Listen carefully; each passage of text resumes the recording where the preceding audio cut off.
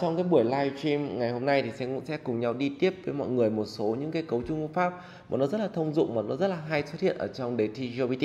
Và ngày hôm nay thì nó sẽ liên quan đến cái vấn đề liên quan đến thực chiến và các bạn hoàn toàn có thể hiểu được là cái cách thực hiện và cái cách giải quyết một cái câu có chứa những cấu trúc pháp đó nó sẽ là như thế nào.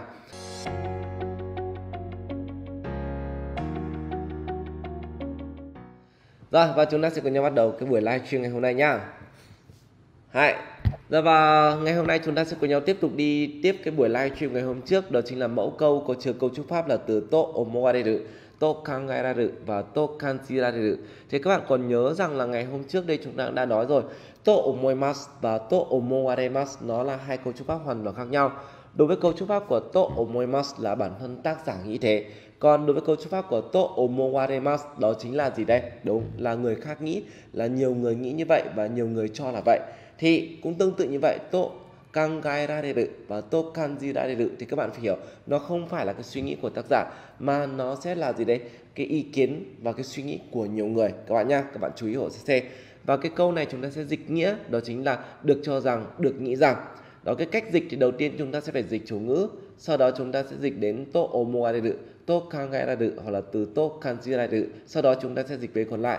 Tuy nhiên nhưng Đối với cấu trúc pháp của to omoareru, to kangaeraru và to kanjirareru thì thường chủ ngữ nó sẽ lược bỏ và tự bản thân của chúng ta sẽ phải hiểu rằng là à chủ ngữ ở đây là người ta là rất nhiều và phần lớn người ta thường hay nghĩ, hay nói và hay cảm nhận thấy rằng được chưa nhỉ? Ok. Và xin phải nhấn mạnh lại một lần nữa với tất cả các bạn rằng đây nó là cái ý kiến khách quan, nó không phải là ý kiến chủ quan của tác giả các bạn nhá. Đó. Và bây giờ thì chúng ta sẽ cùng nhau đi xem cái ví dụ này cái ví dụ ngày hôm nay chúng ta sẽ có ở đây đó chính là từ Jiko no genin wa untenshu no inshu ni aru to omowareru. Thì chúng ta sẽ dịch và phân tích của xe câu này xem nó có nghĩa là gì các bạn nhá. Chúng ta thử dịch qua đi xem nghĩa nó là gì. Rồi và ở đây của chúng ta sẽ dịch như nào các bạn nhỉ? Đầu tiên chúng ta dịch chủ ngữ trước, đó là cái nguyên nhân của sự cố thì nó được cho rằng là lái xe đã uống rượu. Vậy ở đây nó có phải tác giả cho rằng không bạn? Không phải, đó là cái thông tin người ta đã nhận được từ người khác và nhiều người người ta nghĩ thế. Đó là cái ý kiến liên quan đến khách quan. Thì lúc đó chúng ta phải nhớ hồ sơ đây, nó không phải là ý kiến chủ quan, mà nó là ý kiến khách quan các bạn nhé nhiều người người ta nghĩ như vậy. Để xem nhé ok. Giờ và tiếp theo nha, chúng ta sẽ cùng nhau đi đến cái, một cái đoạn thực chiến trong GPT đây là một cái đề thi GPT N2 trích của tháng 12 năm 2014 và bây giờ chúng ta sẽ thử ngồi và đọc qua ở xem cả cái đoạn này để xem xem chúng ta sẽ dịch nó như thế nào, các bạn nhá. Rồi, và Sensei muốn là sẽ cho thật nhiều vào đây để chúng ta có thể có nhiều cái kinh nghiệm, không chỉ với cấu trúc pháp này mà chúng ta còn có cả những cấu trúc pháp khác, chúng ta dịch được nó nữa. Để chưa nhỉ? Ờ, đối với những các bạn mà chúng ta chưa dịch quen hay chúng ta chưa giỏi thì chúng ta cứ từ từ chúng ta cứ dịch từng cái từng cái một. Cái điều quan trọng nhất là chúng ta nghĩ xem là mình nên dịch ở đâu cái nào nó đi với thằng nào và chúng ta sẽ triển khai câu này như thế nào các bạn nhá. Dạ và đầu tiên ở đây sen sẽ có đó chính là từ koto gara ni mo yoru ga. Ippan ni akiru ningen no hou ga kato de. No akinai ningen no hou ga soto to omowarete iru. Rồi và các bạn sẽ triển khai câu này như nào các bạn nhỉ? Đầu tiên ấy thì các bạn sẽ thấy rằng là ở trong cái câu này nó có một đoạn hai đoạn ba đoạn và bốn đoạn nó có bốn đoạn chia tương đương với lại bốn cái dấu phẩy và nhiệm vụ của chúng ta đầu tiên chúng ta cứ dịch theo từng một cái dấu phẩy một các bạn nhá. Thế đây chúng ta có này, kotogara nimo yoru ga. Thì nimo yoru nó cũng giống như là từ ni yoru. Đó, và kotogara là sự việc, sự vật là vấn đề. Thì câu này chúng ta dịch là gì các bạn? Chúng ta dịch là tùy từng trường hợp, tùy từng vấn đề và tùy từng ngữ cảnh, nhưng mà ipani ipani là thông thường. Thông thường thì sao? Akiru ningen no ho ga kato de. Thì kato ở đây là gì? Là giữa hạ đẳng. Thì chúng ta sẽ thấy là cái chủ ngữ nó sẽ phải đứng trước ga, thì chúng ta sẽ dịch chủ ngữ này. Là akiru ningen no ho là ý người ta muốn nói rằng là những cái người mà nó có mang cho mình một cái cảm giác là mau nản, mau chán, thì thường được coi là những người là gì đây? Đúng rồi, là những người mà ở một cái vị trí thấp hay là những người mà không đáng được coi trọng. Còn akinai ningen no hoga zoto là những cái người mà không, tức là không mau nản, thì tức là gì? Là những người kiên trì, là những người hay có một cái khác người ta gọi là trung thủy đi. Thì được coi là những người thượng đẳng. Thượng đẳng ở đây là những người tốt, là những người mà xứng đáng được biểu dương. Đúng không và cái đoạn cuối cùng người ta sẽ kết thúc bằng từ to omowareteru thì các bạn thấy rằng là vừa nãy chúng ta nói với nhau là to omowareteru thì nó mang ý nghĩa thể hiện là gì đây? Là nhiều người nghĩ, nhiều người cho rằng và đại đa số chúng ta đều cảm thấy là như thế. Đúng nào?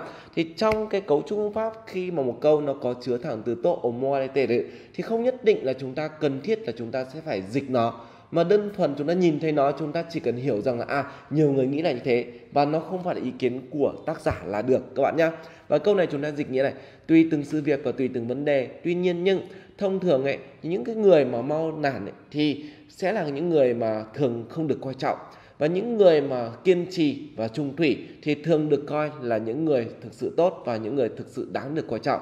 Đó thuốc cứ nị đặc biệt là 相手が粗物であるような場合は飽きることは悪いことと最初からあの愛相当があの決まっているあそばが決まっている thì đây chúng ta sẽ dịch cái câu này nó như thế nào và đây chúng ta nhìn thấy này có một dấu phẩy này hai dấu phẩy này ba dấu phẩy này.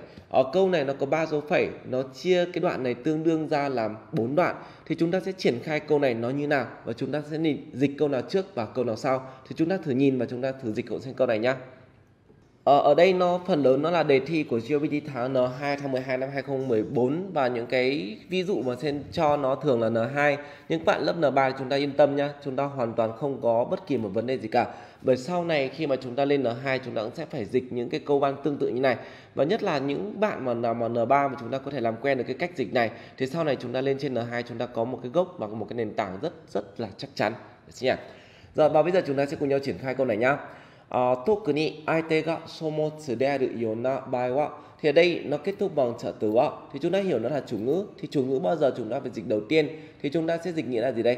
Là đặc biệt là trong cái trường hợp trong trường hợp trong trường hợp là gì đây mà chúng ta sẽ nhìn câu này. Ai tê ga chữ đe được yếu nào thì trong cái trường hợp chúng ta đã gọi tên được nó rồi, thì chúng ta sẽ thấy này, những cái đoạn còn lại thì nó có một cái thằng là từ it gạo thì chúng ta phải hiểu là à cái thằng này nó lại là chủ ngữ con nữa. Thì chúng ta sẽ dịch dịch chủ ngữ con trước, nó là it nó là đối phương đối phương là một cái người giống như somotsu là một kẻ mọt sách, tức là một người hay đọc và một người thích đọc ấy. Thì akiru koto wa warui koto to cả kara nó soba ga kimatteru soba ga kimatteru chúng ta dịch nghĩa nó là được quyết định ngay từ đầu. Cái gì được quyết định ngay từ đầu? Thì cái việc là người mà mau nản, mau chán thì nó là một cái việc xấu. Và cái điều đó khi mà diễn ra trước mặt một cái người, đó chính là người thích đọc sách, thì người ta thấy đó là một cái việc hết sức là xấu. Đó.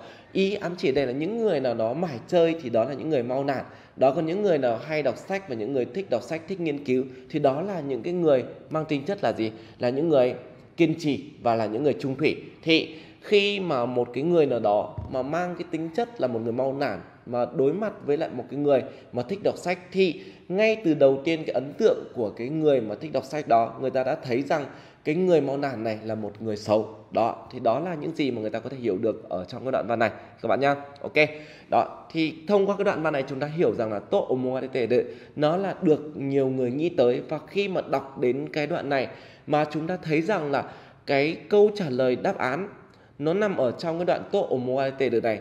Mà câu hỏi người ta hỏi rằng là đâu là điều tác giả muốn nói, thì sẵn sàng chúng ta có thể gạch nó đi luôn. Bởi vì sao?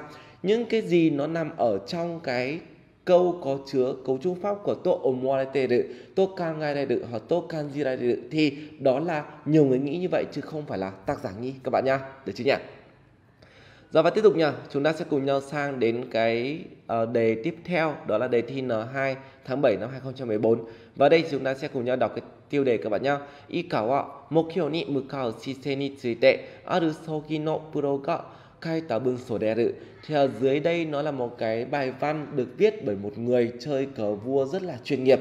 Đó, và người ta viết về cái tâm thế, cái điệu bộ khi mà hướng tới cái mục tiêu tức là chúng ta sẽ hướng tới một mục tiêu như một cái tâm thế như thế nào đó, thì bây giờ chúng ta sẽ cùng nhau xem các bạn nhá rồi và bây giờ chúng ta sẽ cùng nhau đọc cái câu đầu tiên và chúng ta sẽ cùng nhau dịch nó Makata sogi to maketa sogi dochira ga dochira ka ga yoi yori wasure rarenai ka to to toware reba thì chúng ta sẽ dịch cái câu này như nào các bạn đằng sau nó là câu trả lời nhá dochira mo amari oboite nai thì nó chính là câu trả lời của tác giả thì chúng ta sẽ dịch cả cái đoạn này trước đã được chưa nhỉ rồi và chúng ta sẽ triển khai câu này như thế nào 勝った将棋と負けた将棋どちらか ok và chúng ta sẽ sẽ sẽ dịch câu này như nào đấy các bạn? Thì ở đây sẽ, sẽ gợi ý cho mọi người một cái kinh nghiệm nhá. Khi mà chúng ta đã có được một cái câu ở cuối câu ấy, nó thường là từ tokikimasu. To to uh, toyi. To to ở đây là, là câu hỏi của nhá. Thì khi mà ở cuối câu ấy nó có những cái thằng là từ tokikimasu và từ to to wa đây để bảo, thì chúng ta sẽ phải nhớ lại cái câu này nó là mang tính chất thể điều kiện. Thế bao giờ chúng ta cũng sẽ phải dịch với một trước. Và chúng ta sẽ phải nói là nếu như mà gì đây khi mà được hỏi được hỏi cái điều gì, thì bây giờ chúng ta sẽ cùng nhau xem nội dung mà người ta hỏi nha. Kata sogi to maketa sogi dochira ga yori wase sure rarenai ka? Thì trong cái thằng cấu trúc pháp mà chúng ta vừa đọc, nó lại xuất hiện thằng từ yori. Thì chúng ta sẽ dịch là thằng thằng yori, chúng ta dịch như nào? Các bạn sẽ dịch đằng sau thằng Yori, nhưng không phải các bạn nhá. Chúng ta phải dịch trước thằng Yori vốn dĩ bản chất của chúng ta là chúng ta phải dịch đằng sau thằng Yori tuy nhiên, nhưng ở đây chúng ta có thấy không? Xuất hiện trợ từ là trợ từ ga trợ từ ga nó là gì đây? Nó là đóng vai trò là chủ ngữ rồi. Thì chúng ta sẽ phải coi cái thằng này nó là chủ ngữ để chúng ta phải dịch nó trước. Vì vậy chúng ta sẽ phải dịch này. Là khi mà được hỏi rằng là giữa những cái trận cờ vua thắng và những cái trận cờ vua thua, thì đâu nó là cái trận mà khó có thể quên được hơn? Đúng nào đó thì khi mà chúng ta nhìn phát là chúng ta có thể triển khai ra. Các bạn cứ từ từ để chúng ta lần theo cái manh mối làm sao để mình xem dịch cái nào trước dịch cái nào sau. Và bây giờ chúng ta sẽ cùng nhau xem sẽ, sẽ dịch lại câu này nha. Là khi mà được hỏi rằng đó khi mà được hỏi này ok. Giữa những cái trận là cờ vua thắng và trận cờ vua thua thì bạn đâu nó là cái trận đấu mà bạn khó quên hơn? Wasure Dadenai là không thể quên. Đúng nào Yori là hơn thì mình sẽ dịch là đâu nó là cái trận mà chúng ta cảm thấy khó quên hơn. Rất là dễ đúng không? Và câu trả lời của tác giả này Dochira mo amari oboete nai và ông này cũng trả lời là giữa trận thắng và trận thua ấy, thì trận nào tôi cũng không có nhớ nó lắm. Đó thì tức ý ám chỉ của tác giả ở đây rằng là à tôi cũng không có nhớ lắm.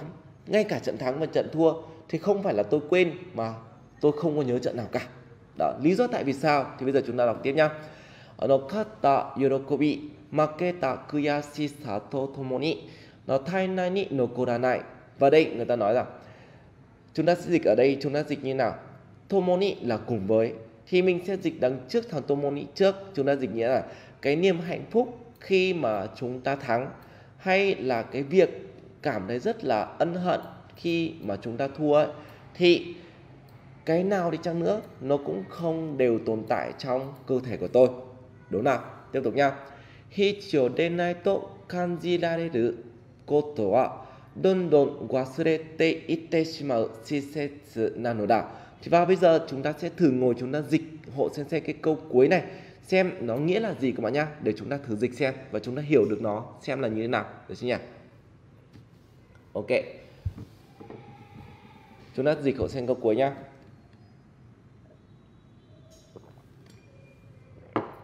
Các bạn sẽ triển khai từ phần nào trước? Ok rồi và bây giờ chúng ta sẽ cùng nhau triển khai nhá. Và khi mà nhìn vào cái câu này nếu như các bạn chưa biết dịch vào đâu chưa biết bám vào đâu để dịch thì chúng ta cứ triển khai thôi. Chúng ta nhìn thấy ở đây cô tổ gọn nó là chủ ngữ. Thì chắc chắn là chúng ta sẽ phải hiểu là chúng ta sẽ phải dịch trước thằng từ cô tổ gọn này rồi. Sau đó chúng ta phải dịch vế đằng sau đúng nào? Bây giờ chúng ta dịch trước thằng từ cô tổ gọn, các bạn nhá. Hichio denai to kanji dareru koto wa thế đây chúng ta dịch nhỉ? Những cái việc mà mình cảm thấy rằng, đó, những cái việc mà được cảm thấy rằng là không có thực sự cần thiết, thì chúng ta sẽ nhìn vào cuối câu này. Sesitsu đó là cái tính chất, thì vốn dĩ bản chất trong con người chúng ta thì sẽ dần dần bị quên đi don don wasurete ite shimau đúng không? Thì cả cái câu cuối này chúng ta dịch nghĩa rằng là những cái thứ mà chúng ta cảm thấy rằng là không cần thiết thì vốn dĩ bản chất của nó sẽ dần dần bị quên đi. Thế đó là lý do tại vì sao mà tác giả khi trả lời cho câu hỏi rằng là giữa trận thắng và trận thua thì trận nào là trận khó quên nhất mà tác giả lại nói rằng là tôi chẳng nhớ trận nào. Bởi với bản thân của tác giả thì tác giả cũng chẳng có cái trận nào nó liên quan nó nó cũng không cần thiết là phải nhớ những cái kỷ niệm đó để làm gì đúng không và thông qua cái thằng từ tố kanji đự này thì các bạn cho sẽ, sẽ hỏi rằng là đây nó là điều tác giả nghĩ hay đây nó là điều quy luật chung, đó là điều mà người ta cho và đó là một cái điều hết sức tự nhiên xảy ra. Thì các bạn cho sẽ biết tổ kanji đại tự nó là tác giả nghĩ hay nó là cái vốn dĩ bản chất, nó luôn luôn xảy ra là như thế. Được chưa nhỉ? Ờ, cái việc mà cảm thấy không quan trọng thì sẽ có những tính chất dần dần quên đi thôi. Đúng rồi. Ừ, cũng gần ra được một cái câu hoàn chỉnh rồi đấy. Chúng ta dịch nghĩa rằng là những cái việc mà cảm thấy rằng không thực sự cần thiết thì vốn dĩ rằng là chúng ta cũng sẽ dần dần quên đi đúng không? Và bây giờ chúng ta sẽ cùng nhau trả lời cho câu hỏi vừa này nhé thì có rất là nhiều bạn chúng ta nghĩ rằng là Tokan tự ở đây nó là tác giả nghĩ rằng là đó là điều không cần thiết nên sẽ dần dần bị quên đi nhưng không phải đâu cái này vốn dĩ bản chất nó luôn là như thế các bạn nhé bởi vì sao? Các bạn nhìn ở cuối câu này.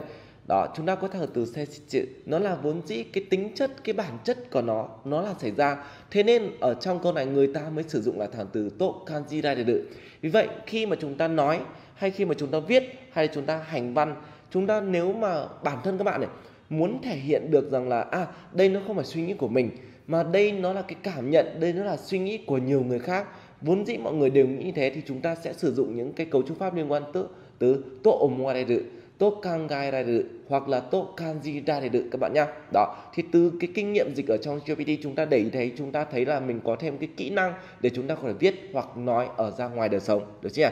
Còn nếu như mà chúng ta viết ở đây là từ hitsu denai to kanji toki thì khi mà tôi cảm thấy rằng không cần thiết thì lúc đó là bản thân tôi cảm thấy rồi nó, cái nghĩa của câu nó lại hoàn toàn bị thay đổi. Thế nên, khi mà các bạn nói ở trong đời sống hay chúng ta viết ra trong đời sống, chúng ta phải đặc biệt lưu ý hộ sinh nhé nhớ là cứ khi mà chúng ta muốn thể hiện đây nó là suy nghĩ của nhiều người, chứ nó không phải là chỉ có riêng tôi, thì lúc đó chúng ta sẽ sử dụng là gì đây? Động từ để biến động. To kanji ra được to kangai ra được và to omogai ra được được chưa nhỉ? Ok, các bạn nhớ nhá. Rồi, và bây giờ chúng ta sẽ cùng nhau tiếp tục sang đến mỗi cấu cấu trúc pháp tiếp theo. Đó chính là cấu trúc pháp của toyukoto desu toyukoto được Thế bạn có thấy rằng là cái cấu mẫu cấu trúc pháp của to yukoto desu và to yukoto desu nó rất là hay xảy ra ở trong đề thi không các bạn? Đó, nó thường nó nó thường được sử dụng rất là nhiều. Tuy nhiên nhưng bản thân của sensei thì nói thật với các bạn rằng là khi mà nhìn thấy một cái câu nào nó có chứa từ Toyukoto desu hay từ Toyukoto desu thì không bao giờ sensei mất thời gian để ngồi xem xem nghĩa của thằng từ Toyukoto desu này nó là gì cả bởi vì đơn giản thôi nghĩa của nó nó chỉ là hoa lá cành nó chỉ là một cái chữ duy nhất là là chuyện là việc mà thôi đó và ngay cả khi mà chúng ta không dịch nó chúng ta không dùng đến nó chúng ta đều có thể hiểu được nghĩa của câu còn lại và bây giờ cái cách dịch của cái câu này đối với những câu trung pháp nó chứa thẳng từ tuy có desu hay tuy tuyukoto đự thì chúng ta sẽ dịch như nào?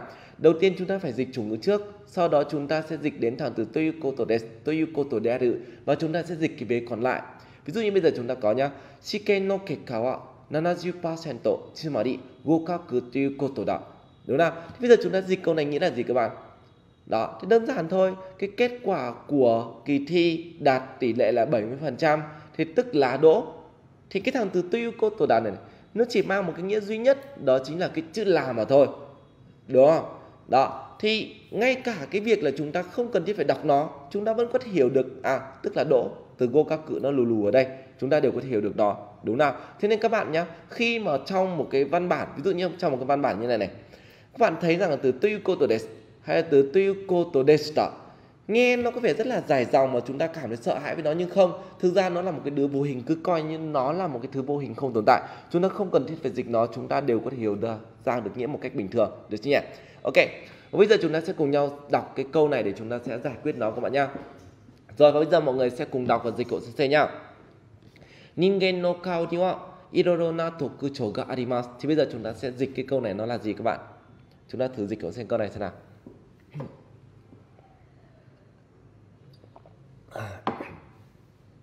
Nhân gen no kao ni wa iroro na toku chou ga arimasu. Nếu như mà xem live stream này mà chúng ta có nhiều thời gian để chúng ta ngồi, chúng ta lịch dịch và chúng ta trải nghiệm thì thực sự nó rất là hữu ích cho tất cả các bạn đó, thế mọi người hãy cố gắng là dành nhiều thời gian để chúng ta dịch đọc hiểu hơn các bạn nhá. Rồi, và bây giờ chúng ta sẽ cùng nhau dịch này. Ningen no kao ni wa thì ở đây chúng ta thấy rằng nó là dấu phẩy đầu tiên và nó cũng có cái chữ wa thì lúc đó chúng ta dịch nghĩa là tại sao ở đây nó lại có chữ nị? Đố các bạn biết tại sao lại có chữ nị ở đây. Đó nghĩa đây là gì nhỉ? Là ở một cái chỗ nào đó, trên một cái vị trí nào đó. Thì đây chúng ta dịch nghĩa là gì đây? Đúng rồi. Là trên cái khuôn mặt của con người chúng ta ấy thì Irorona Tokucho Ganimas thì có rất là nhiều đặc trưng đó và ví dụ như đầu tiên Moganai toyu no ga sono hitotsu đó soshite mo hitotsu no tokutsu wa no kao ga hizo ni yawarakai toyu koto desu? Và bây giờ chúng ta sẽ thử dịch cái câu này như nào. Rồi, và chúng ta sẽ cùng nhau thử dịch câu này nhá. Rồi, bây giờ chúng ta sẽ dịch từng dấu phẩy một. Đầu tiên ấy, là Moka nai tuyuko noga sono hitotsu. Thì ở đây, cái thằng hitotsu này, nó lý giải ra cái câu rằng là irorona. Cái câu đằng trước người ta nói là có rất là nhiều đặc trưng. Thì cái thằng từ số nó hitotsu là một trong những đặc trưng đó là gì đây các bạn? Moga này là không có lông. Các bạn phải hiểu rõ ở CC nhá. Lông và tóc nó là hai thứ khác nhau các bạn nhá. Lông nó khác và tóc nó khác. Lông bây giờ lông mặt này này. Đó, thì người ta gọi là lông. Còn thứ mà mọc trên đầu thì nó được gọi là tóc. Được chưa? Chúng ta đừng có bảo ốt trên đầu có tóc mà chứ sao thầy bà lại bảo không có lông? Nhưng không phải các bạn nhá. Lông là lông mà tóc nó là tóc. Chúng ta phải phân biệt được, xem hai cái thứ đó. Đó, thì cái đặc trưng của con, trên mặt con người của chúng ta thì làm sao đây? Là không có lông. Đúng không nào? Đó, nếu như mà chúng ta mà có lông thì tức là chúng ta thành gì các bạn? Chuẩn luôn chúng ta thành khỉ. Đó là, đó. Và tiếp tục nào. Soste mohitotsu no tokucho wa soste là thêm vào đó. Và thêm một đặc trưng nữa, đó chính là từ kao ga hizoni wa yawarakai to koto da và thêm một cái đặc trưng nữa là cái khuôn mặt của chúng ta thì nó rất là mềm. Đó các bạn có thấy không? Mặt của sensei rất là mềm và má hay mọi thứ cũng rất là mềm. Thì đó là cái đặc trưng trên khuôn mặt của chúng ta. Còn nếu mà chúng ta cứng thì chúng ta hiểu là đầu trâu đó nó phải cứng và cứng như trâu thì người ta gọi là từ katai còn mặt của con người con người chúng ta rất là mềm đúng không nào? Thì các bạn thấy là cái từ tuyuko tổ đạo nó đứng ở cuối câu nó chỉ mang tính chất là trong văn viết. Nhưng trong cái thực ra ấy, bản chất của cái thằng này nó chính là bằng thằng từ đề sự. Đó nó bằng đề sự. Tuy nhiên trong văn viết thì nó nhân cách hóa nó dài dòng hơn một chút thì nó viết thành từ toyukoto des nó dài hơn một chút thôi nhưng các bạn cứ hiểu nó là bằng thằng từ desu hồ sensei nhá. Như thế là sau được chứ nhỉ? tiếp tiếp tiếp tục nha ờ, 特に口が柔らかいというのが人間の顔の特徴です。Thế bây giờ chúng ta dịch câu này tốt cực là đặc biệt là kuchi ga yawarakai to you no ga thì đố các bạn biết từ to you no ga ở đây nó là gì? To you no ga ở đây nó đóng vai trò là chữ gì các bạn nhỉ? Nó là gì đây? Đúng rồi. Nó chính là bằng với trợ từ là trợ từ wa các bạn nhá. Thì bây giờ thay vì cái việc nói là toku thì các bạn thấy rằng là nó không hợp lý, bởi là từ yawarakai là tính từ nó không thể là từ quạ được. Thì nó sẽ sử dụng là từ toyu no ga ở đây. Và người ta sẽ dịch ở đây nó là, và đặc biệt là cái việc là cái cái cái miệng của chúng ta này, cái môi của chúng ta này yawarakai là mềm. Thì nó cũng là gì đấy một trong những cái đặc trưng trên khuôn mặt của con người. Đúng nào? ok, đó, chúng ta sẽ dịch ra rồi nhá. Motomoto kuchi no no yaku wa tabemono o taberu toyukoto deshita. Thì vừa nãy sensei đã nói rồi, đúng không? Ở đây chúng ta có từ taberu, thì nó không thể là từ taberu desu được. Mà vốn dĩ bản chất của thằng gì? Taberu, thì nó phải từ tabemas, và nó kết thúc bằng từ taberu. Đó, tuy nhiên nhưng ở đây, vì không thể kết thúc bằng des cho nên đơn giản thôi, người ta sẽ thay des bằng thằng từ tuyukoto Đó, và đây chúng ta dịch nghĩa này, motomoto là vốn dĩ bản chất thì cái vai trò của miệng nó là gì các bạn đúng rồi cứ chủ ngữ chúng ta dịch trước vai trò của miệng đó chính là dùng để ăn thức ăn đơn giản thì thôi đúng nào ok tiếp tục nha しかも口でその食べ物をつかむことが必要ですからあの顔の中であ の口が一番前にないと食べられません đúng không và ngày hôm nay chúng ta hiểu ra à lý do tại sao mồm của chúng ta nó lại là ở trước mặt chứ không phải nó ở đằng sau gáy à lý do mồm ở trước mặt là vì đây chúng ta sẽ cùng nhau đọc nhá xin cảm ơn hơn thế nữa này cứ chi đệ cứ chi đệ ở đây là đệ nó là phương tiện và cách thức để thực hiện hành động thì chúng ta hiểu rằng là người ta con người chúng ta dùng miệng để làm gì các bạn chính xác là chúng ta cần thiết dùng miệng để có thể ok sono tabemono tsukamu koto ga dùng để có thể tóm thức ăn. Tức là chúng ta dùng miệng để chúng ta tóm thức ăn đúng không nào? Nên là kuchi no à, kao no naka de kuchi ga ichiban mai ni nai to taberare thì tức là nếu như mà trên khuôn mặt của chúng ta mà miệng nó không có thể dài ra nó nó không có thể gì đây ở đằng trước được thì lúc đó chúng ta không thể nào mà ăn được. Đó. Thì tức đây nó giống như là liên quan đến động vật đấy giống như là con chó chẳng hạn. Mọi người hiểu đó con chó nó không thể dùng chân nó để cầm thức ăn nó cho lên trên mồm được. Ờ, sẽ không phải sẽ đang ví dụ nhé sẽ không phải là con chó đang cầm thức ăn. Thì các bạn phải hiểu này. Ở đây ấy, vì con chó nó không thể cầm thức ăn để nó cho lên mồm để nó ăn. Thế nên nó sẽ phải dùng cái miệng của nó để nó ăn. Và nếu như mà miệng của nó mà không có dài ra thì nó có thể ăn được thức ăn không các bạn? Nó không thể ăn được thức ăn đúng không nào? Nếu mà miệng nó mà giả sử miệng nó bằng bằng bằng bằng, nó thụt vào bằng cái miệng của con người chúng ta, thì khi mà chúng ta dùng miệng để chúng ta ăn, lúc đó cái mũi của chúng ta sẽ chạm vào thức ăn trước. Đó là lý giải tại sao động vật ấy thì thường cái miệng của nó lại thường dài ra hơn so với lại cái vị trí trên khuôn mặt. Nó là như thế, các bạn nhá. Ok. Rồi, và đó đó là cái đoạn. Và thông qua cái đoạn ví dụ này thực chiến trong GPT chúng ta hiểu hộ sensei rằng cái thằng từ Toyuko to desu từ nay về sau khi mà các bạn gặp nó ở trong một cái đề thi hay trong một cái bài đọc hiểu chúng ta chỉ cần hiểu nó bằng từ des. còn nếu như mà chúng ta không có thời gian thì chúng ta phớt lờ nó đi luôn và chúng ta không cần thiết phải quan trọng nó bởi nó có trong một câu thì nó cũng không có cái nghĩa gì mang tính chất là đặc biệt quan trọng cả. Được chưa nhỉ? Nó chỉ là giải thích một cái nguyên lý nào đó mà thôi. Được chưa à, út lâm hôm nay em mới biết lý do miệng ở trước mặt mà không ở đằng sau gái. Đúng chính xác. Tí nữa về đố ở người thân hoặc là đố bạn bè mình đố mà biết tại sao miệng nó lại ở trước gái chứ à, nó ở trước mặt chứ không phải là ở đằng sau gái đúng là nếu như miệng mà đằng sau gái thì chúng ta sẽ phải thực hiện hành động là gì các bạn? Đúng rồi là phải nằm để ăn. Đúng không? Đó khi mà cãi nhau chúng ta sẽ phải làm gì? Chúng ta sẽ phải quay mông quay mông lại với nhau để chúng ta cãi. Đó, đó thì chúng ta thấy nó rất là thú vị ở đấy. Ok. Ôi, đang dậy nhưng vẫn hóng hớt được là trời ngoài kia mưa rất là to các bạn ạ. Ok, tiếp tục nha, chúng ta sẽ cùng nhau sang đến mẫu cấu trúc pháp tiếp theo trong ngày hôm nay. Đó chính là mẫu cấu trúc pháp của năn năn cậu ấy. Đó, thì đây là một trong những cấu trúc mà các bạn thấy nó rất là phổ biến ở trong đọc hiểu năn năn cậu ấy. Bây giờ cô tổ cậu ấy chẳng hạn, đúng không? Rồi và bây giờ chúng ta sẽ cùng nhau xem này. Nghĩa nó là phần nhiều. Nghĩa của những thằng là từ cậu này là liên quan gì đến cái gì đó nhiều. Và cách dịch chúng ta sẽ dịch về cái thằng từ cậu trước, sau đó chúng ta mới quay lại để dịch những cái phần còn lại các bạn nhá. Và các bạn đặc biệt phải lưu ý hộ sensei này. Tác giả người ta sẽ dùng mẫu cấu trúc pháp này để đưa ra một cái quan điểm nào đó và phía sau thường sẽ là những lập luận đồng tình hay không đồng tình của tác giả với quan điểm đấy.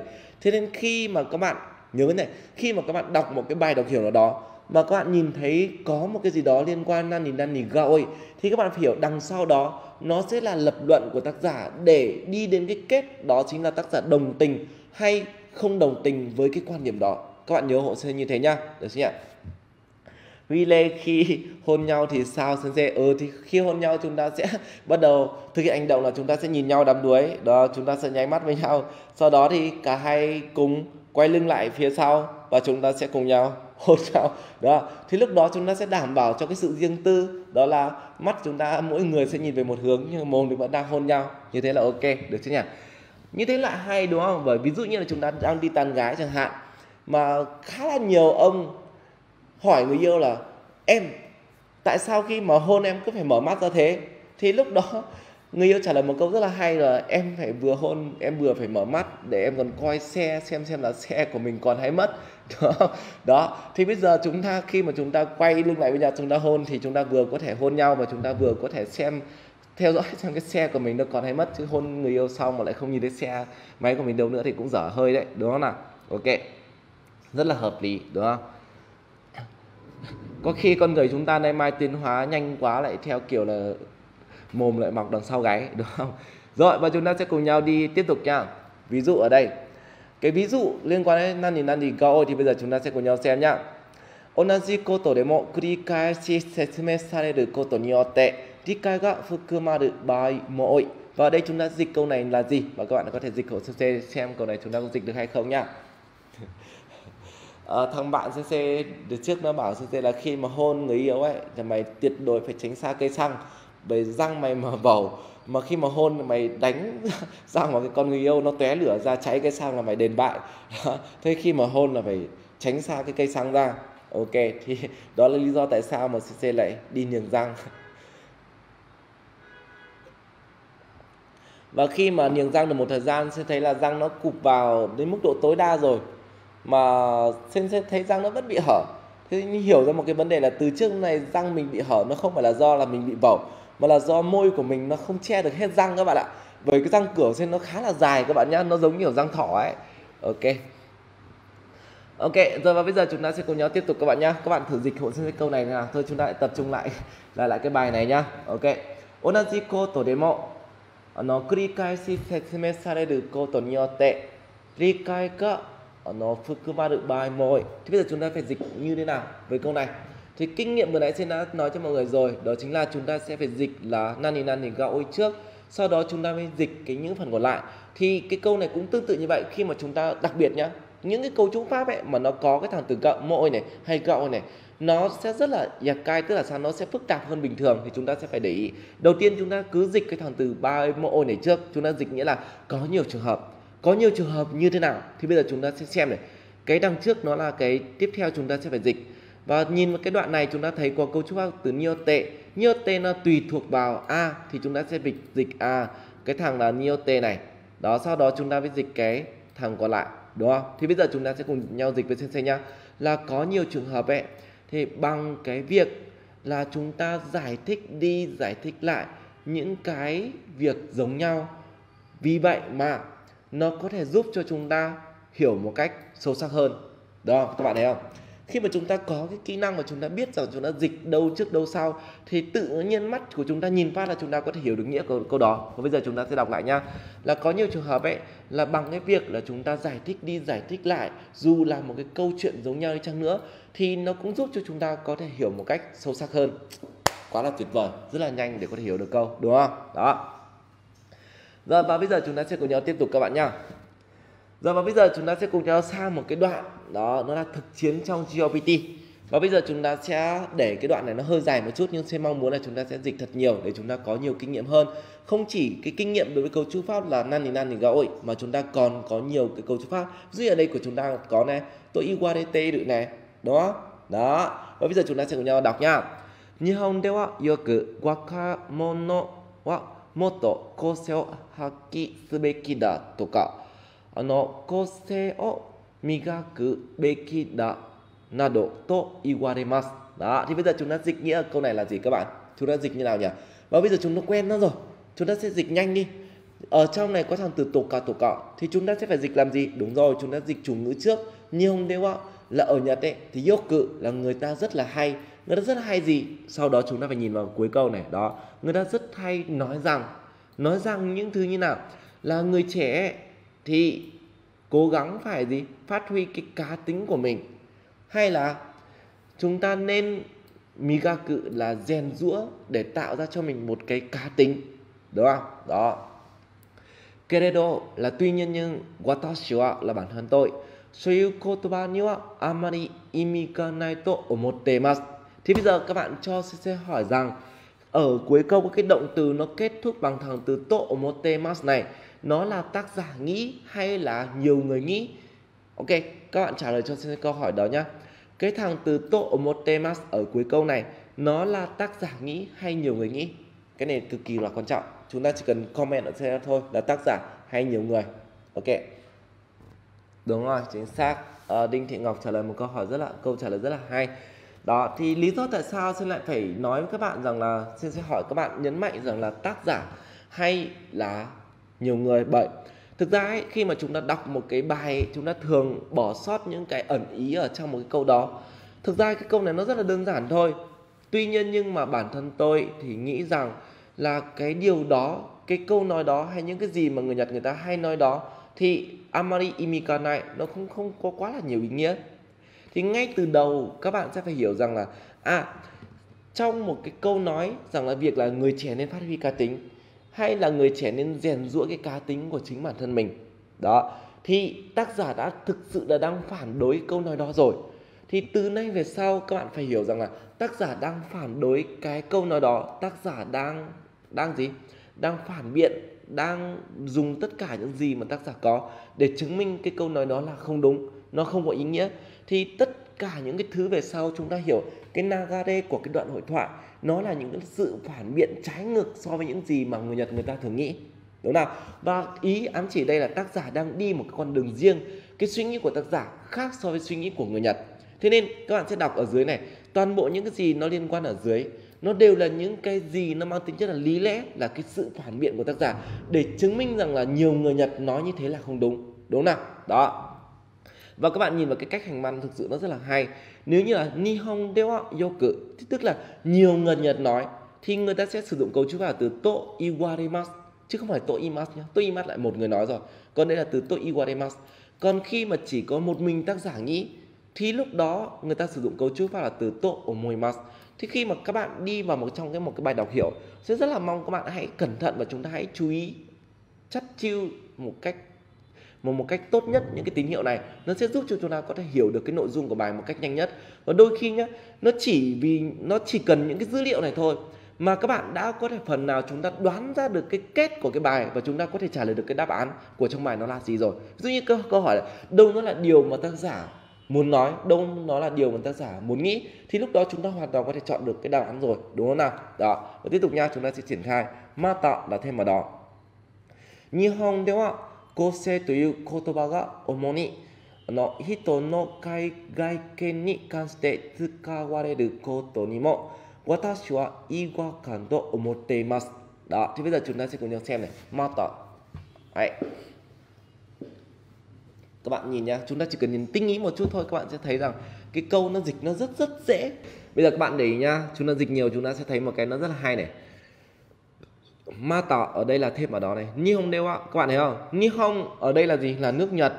Ý tác giả muốn nói là đây nó là cả nước Nhật. Và các bạn nhìn đây, các chúng ta nhìn thấy đoạn tiếp theo nhá ok đây tsukawareru ừ, nó là động từ thể bị động đó ở đây ý ám chỉ rằng là nước Nhật ấy thì người ta thường hay sử dụng cái gì đó đúng không thì tức là không phải tác giả đâu đây là nước Nhật đây là nhiều người nghĩ như vậy và ở đây tác giả đang nói đến cái quan điểm chung.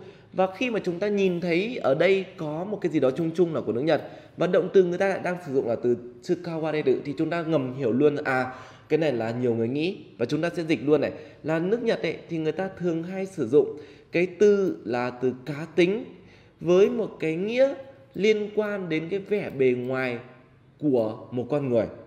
Đúng không? Đó và để làm sao có thể dịch được cái câu này thì bây giờ chúng ta sẽ cùng nhau xem nhá. Nhông quá là ở Nhật Bản đấy Kose tuyu kotoba ga thì chúng ta sẽ hiểu đây nó là một chủ ngữ. Đó, con thật từ tuyu nó bằng cái chữ là, thì chúng ta cứ dịch bình thường thôi. Cái từ cá tính, nó là một cái từ. Đó, nó là một cái từ gì? Nó được sử dụng liên quan đến cái ngoại hình của con người. Ok, đó. Thì tức là nước nhật ấy, thì người ta thường nghĩ rằng là à cái từ cá tính nó là cái từ vựng để thể hiện ra cái vẻ bên ngoài của một con người. Ví dụ như bây giờ giả sử trên xe đi trên cá tính đến mức là ok bây giờ thay vì cái việc là tôi đang đang đang theo kiểu là răng tôi cả hai cái nó đều chĩa ra ngoài nó đều đang vổ thì tôi nghiêng răng để một cái thụt vào một cái nó thò ra. Đó thì nó thể hiện là cái cá tính của riêng tôi tôi thích như thế đấy thì nó liên quan đến cái ngoại hình của một con người. Thì người ta nhìn vào, ôi, thằng này style ác nhỉ, nó cá tính nhỉ, răng nó niềng nó thế cả một cái thụt vào một cái thò ra. Như thế. Thì lúc đó chúng ta thấy rằng là à người Nhật, người ta thường hay cho rằng là cái cá tính nó liên quan đến vẻ bên ngoài của con người. Nhưng watashi wa, watashi đây chính là tác giả. Thì bản thân tác giả là sao? Iwakato omotemasu tác giả lại thấy rằng đó là một điều hết sức là vô nghĩa, hết sức là buồn cười. Và tác giả hoàn toàn không đồng tình với lại cái suy nghĩ và cái quan điểm đó. Đúng nào? Thì các bạn thấy rằng, ở đây nó là watashi là tác giả, thì lại sử dụng là từ omotemasu Thế nên khi mà Sen muốn nói với các bạn rằng nếu như thực sự nhá, chúng ta đọc một cái bài đọc hiểu, mà ở dưới nó có những cái câu hỏi liên quan đâu nó là điều mà tác giả muốn nói, thì các bạn cứ nhìn ở trong cái bài đó đâu nó liên quan đến những cái cấu trúc pháp nó thể hiện ra suy nghĩ của tác giả. Chúng ta chỉ cần nhìn vào đó là chúng ta có thể tìm ra được đáp án rồi. Đó. Và ở ngay đây chúng ta thấy rằng là tác giả đang phản bác cái ý kiến rằng là cái cá tính nó liên quan đến vẻ bên ngoài. Thì chúng ta phải hiểu ngược lại rằng gì đây? À cái cá tính nó phải liên quan đến vẻ bên trong nữa. Ông tác giả ông ấy đang đang đang phản đối cái việc là người ta đang nghĩ rằng là cái cá tính liên quan vẻ bên ngoài, thì từ chúng ta phải ngầm hiểu rằng là, cái ông tác giả ông ấy muốn nói thêm, đó chính là cá tính nó phải cả ở trong tâm hồn, nó phải cả ở trong tính cách của con người. Đó, chúng ta phải cầm đèn để chạy trước container như thế, được chứ nhỉ? Ok, tiếp tục nhau. Ta tuổi bà. Thì ta tuổi bà, khi mà chúng ta đọc này, khi mà tác giả đã đưa ra cái nhận định, ra cái quan điểm của chúng ta, mà các bạn đọc thêm tiếp theo có một cái đoạn liên quan đến từ ta tuổi bà, thì chúng ta hiểu rằng đoạn đằng sau đó nó là những gì mà ông tác giả ông ấy cố gắng đưa ra, ví dụ để có thể biện minh, để có thể chứng minh ra cho người khác thấy rằng ông đang nói đúng. Thế nên, cho dù các bạn có đọc cái đoạn tiếp theo đi chăng nữa, thì nó cũng chỉ là cái thứ để có thể bổ sung cho cái kết kết ở đây là gì? Là tôi phản đối cái việc là người Nhật người ta đang cho rằng cá tính là chỉ liên quan vẻ bên ngoài. Thì các bạn cứ đọc tiếp mà xem, chúng ta sẽ thấy này, rằng là à kosetekina fashion kosetekina hairstyle. Cái việc là cá tính về kiểu tóc hay cá tính về thời trang thì nó rất là nhiều người rất là nhiều trường hợp. Người ta coi nó như một giống như là một cái phong cách phong cách để làm sao khi mà gặp pháp người ta đã cảm thấy giật mình rồi. Đó thì đó đơn giản thôi. Nhưng cái liên quan dĩ nhiên là à, cái cá tính về thời trang cái cái cá tính về gì đây? Về phong cách cái mặt này cái cá tính liên quan đến cái kiểu tóc này. Thì đó nó chính là hai cái ví dụ để đưa ra, để dẫn chứng cho việc là người Nhật, người ta đang cho rằng những cái thứ liên quan đến kiểu tóc và quần áo ăn mặc bên ngoài, nó liên quan đến ngoại hình bên ngoài, đúng không nào? Đó, thế nên cái kinh nghiệm ở đây dành cho tất cả các bạn nhé đó chính là nếu như mà các bạn đã đọc được rằng tác giả người ta đang cảm thấy, chúng ta đã thấy rõ được cái quan điểm của tác giả rồi là ông ấy phản đối với rất là nhiều người rồi, mà đằng sau nó có cái thằng từ tà tôi bà này, xin khuyên mọi người là chúng ta không đọc cũng được để chúng ta có thể tiết kiệm được thời gian, chúng ta có thể bỏ qua hoàn toàn. Về cuối cùng cả cái đoạn này, chúng ta cũng chỉ cần hiểu rằng là ông tác giả ông đang muốn nói rằng là cá tính ấy, thì nó không phải chỉ liên quan đến vẻ bên ngoài như nhiều người Nhật nói. Đó mà chúng ta hiểu ngầm ra rằng à ông ấy muốn nói là nó còn liên quan cả bên trong. Được chưa nhỉ? Ok. Và thể nào cái kết của bài nó cũng chỉ là liên quan đến việc là à điều tác giả muốn nói rằng là cá tính không chỉ liên quan về bên ngoài, mà nó còn liên quan đến bên trong tâm hồn của cái con người đó. Được chưa? Ok. NT duyên cá tính của sensei nó lạ lắm ở ừ, đồ cá tính của sensei nó hơi lạ Đinh Thị Ngọc sensei bán bao nhiêu tiền một tấn muối em mua hẳn tấn cả hơi đắt nhá Ok, rồi bây giờ chúng ta sẽ cùng nhau sang một cấu trúc pháp tiếp theo nó là từ cô tổ gọi tai setsu. Và đây là một trong những cấu trúc pháp nó là một cái key chốt nó là cái key khóa để chúng ta có thể tìm ra được cái đáp án ở trong một cái bài và nó có thể trả lời cho chúng ta một câu hỏi ở trong một cái bài. Thì bây giờ chúng ta sẽ cùng nhau xem nhá. Nghĩa ở đây nó là quan trọng chúng ta nên làm. Đó cái cách dịch đây là chúng ta dịch chủ ngữ trước. Sau đó chúng ta sẽ dịch đến là từ cô tổ gọi tai setsu rồi chúng ta sẽ dịch về còn lại đúng không nào và chú ý hộ sensei rằng là cái mẫu cấu trúc pháp này sẽ được tác giả dùng để diễn tả quan điểm của mình và cũng là mấu chốt quan trọng để chúng ta tìm ra đáp án lý do tại sao ví dụ như là bây giờ uh, các bạn hỏi sensei đi thấy làm sao để có thể giỏi được thì sẽ nói rằng là à để giỏi thì chúng ta sẽ cần thiết phải cố gắng chăm chỉ chúng ta sẽ cần thiết phải uh, học những giáo trình A giáo trình B giáo trình C. Sau đó chúng ta sẽ cần đi phải học như nào như nào. Nhưng sau đó xin kết lại một cây. Nhưng cái điều quan trọng nhất nó vẫn là chúng ta bắt buộc phải kiên trì. Đó chúng ta phải kiên trì. Đó thì cái điều mà tác giả muốn nói đây là gì? Ok hay chúng ta hãy chọn luôn đáp án là chúng ta phải kiên trì. Thì cũng tương tự như vậy trong một cái bài đọc hiểu. Nếu như mà tác giả đã có được một cái từ liên quan từ cô tổ gọ ta sẽ chữ khi chúng ta hiểu đây nó chính là cái chốt, đó là cái điều mà tác giả muốn nói, muốn khẳng định, được chứ nhỉ ví dụ ở đây chúng ta có nhá Aite ga motomete iru mono wa nani ka o tsune ni kangaete sore ni o ta Xin lỗi nha. Sore ni no taeru koto ga taisetsu da to omotemasu. Đúng nào? Thì chúng ta thấy là cô taeru koto ga taisetsu da to omotemasu nó chính là, đúng không ạ? Cái điều quan trọng nhất ở đây nó vẫn là cái việc là chúng ta sẽ phải làm gì? Chúng ta dịch câu này như nào? Chúng ta dịch là cô tổ gạo tai xe chữ này. Trước đúng không? Cái điều quan trọng nhất nó vẫn là chúng ta sẽ phải luôn suy nghĩ xem xem đối phương ấy, người ta cần cái thứ gì để chúng ta có thể, đúng không? Đáp ứng cái điều đó. Thì các bạn thấy rằng là trong cái câu này, chúng ta thấy cái cô tổ tai xét chữ chúng ta sẽ phải dịch nó trước nhá, xin dịch lại một cách chậm hơn này. Ta sẽ chữ, tôi nghĩ rằng cái điều mà quan trọng nhất đó chính là, đó, thì các bạn sẽ phải nhìn dịch về này trước này. Chúng ta sẽ phải suy nghĩ xem, càng nghe tệ, suy nghĩ cái gì? Đó, suy nghĩ xem xem rằng là đối phương ấy, người ta đang mong muốn cái điều gì? Đó. Motomete được nó nani cả. Để làm sao? Chúng ta sẽ phải đáp ứng được cái điều đó ok, thì lúc đó nó sẽ ra nghĩa của một bài. Desu ka ok. Cái thằng từ cô thay được này nó chính là cái điều mà chúng ta sẽ đáp ứng và chúng ta sẽ trả lại và người ta sẽ đáp ứng những cái điều mà người ta mong muốn. Các bạn nhá. Ok. Rồi, và bây giờ chúng ta sẽ cùng nhau thực chiến ở trong GPT và trong GPT ở đây chúng ta sẽ có một cái đoạn như này. Và bây giờ chúng ta sẽ thử nhìn qua và chúng ta dịch hộ sensei cái câu này. Nó là gì các bạn nhá? Ok, các bạn thử dịch hộ sensei xem nào.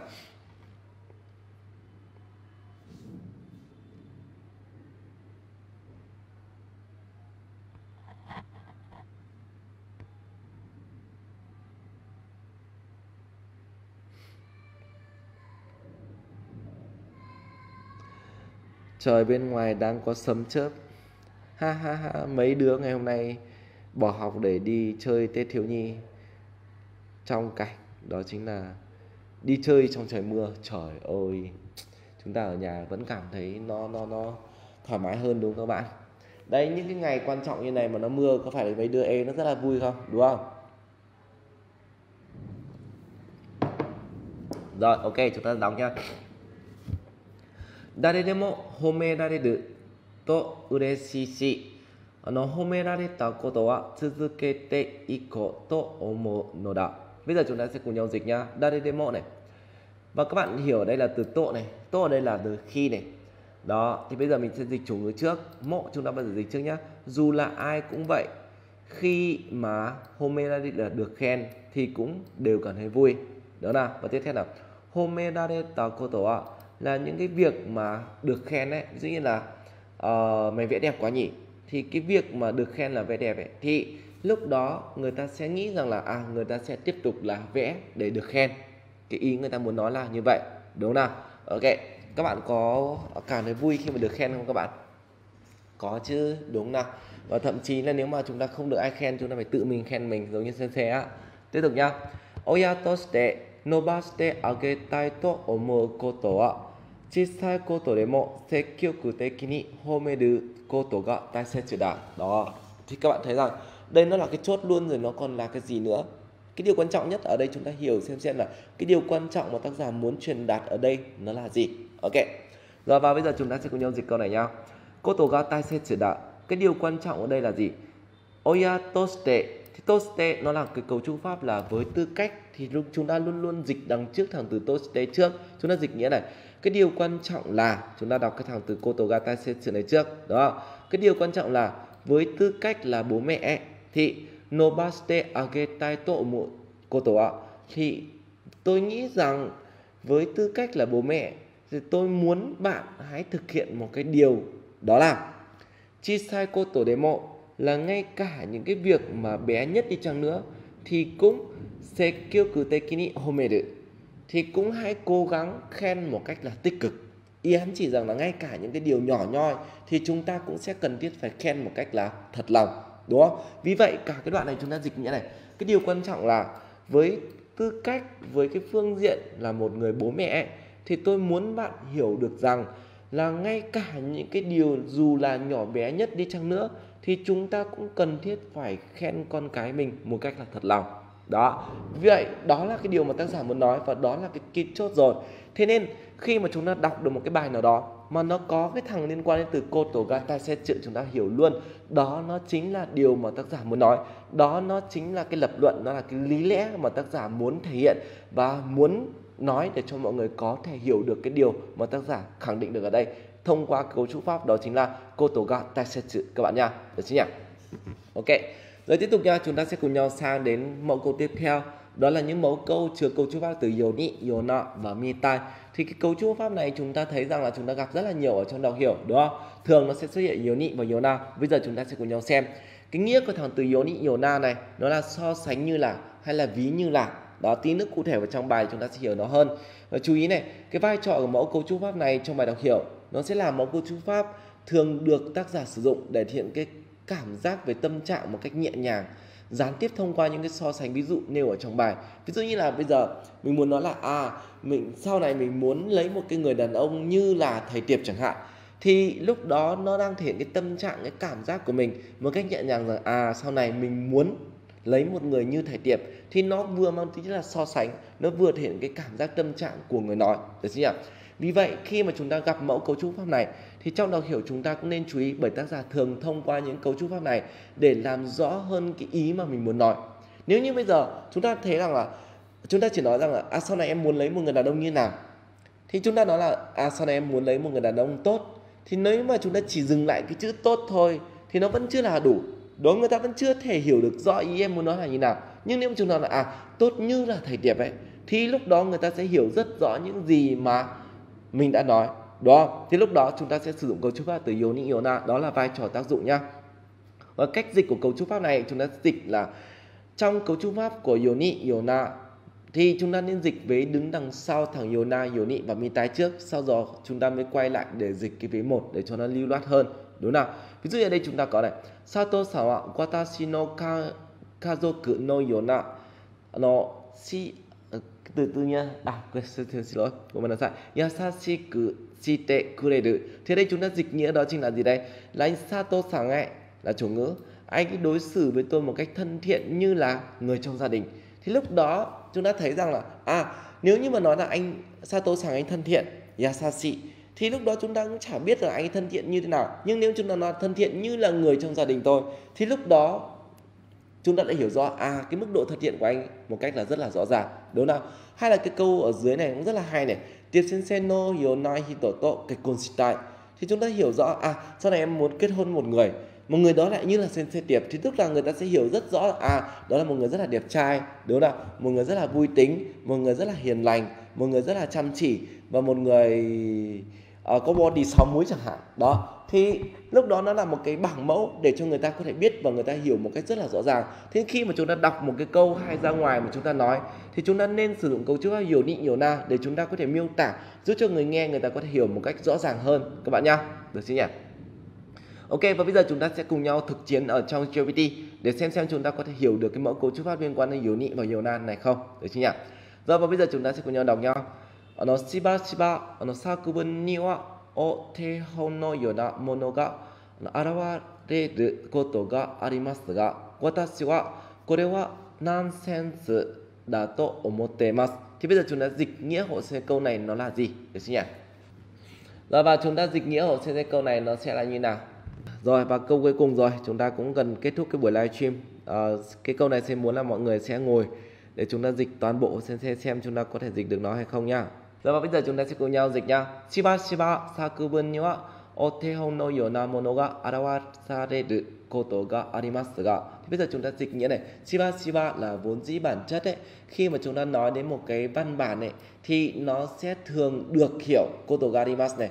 Nó sẽ thường được thể hiện như là một cái bức tranh mẫu ý ám chỉ ở đây chúng ta hiểu thêm một cái nghĩa bóng đi tức là bình thường chúng ta nói thì nói thế nào cũng được đó nói có âm ừ các thứ thì ok nhưng khi mà chúng ta đã viết ra thì câu văn nó phải chỉn chu chúng ta không để viết từ âm ừ ở trong cái câu văn đó đó thì lúc đó người ta sẽ nói rằng là à vốn dĩ bản chất ấy thì trong một cái văn bản này như ạ chúng ta luôn luôn dịch này trong một cái văn bản thì chúng ta sẽ thường được thể hiện nó như là một cái bức tranh mẫu đó nhưng mà watashi wa これはナンセンスナンセンスだと思ってます。ナンセンス là cảm giác là không đúng